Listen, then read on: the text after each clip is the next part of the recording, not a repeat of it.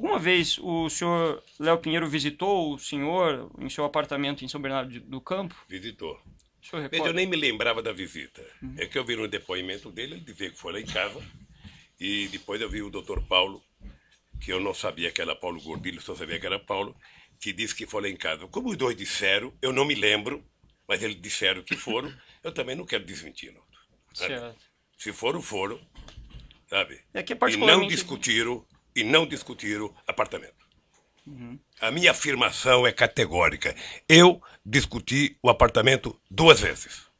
Certo. E o que, que eles discutiram com o senhor nessa oportunidade? Eu acho que eles tinham ido discutir a questão da cozinha, que também não é assunto para discutir agora, lá de Atibaia.